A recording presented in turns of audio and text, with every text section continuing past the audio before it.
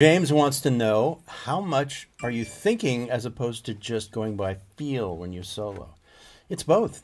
I, I, I think that you develop a vocabulary, and at a certain point, you're able to let your mind kind of relax, but you're always trying to pay attention to the chords and trying to craft something good and trying to play opposites against each other. So it, it, it will always be both.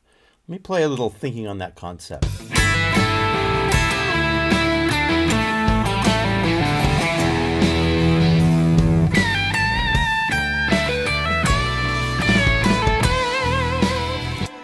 So where I started thinking there was in that spot that I love where it goes from B minor to A.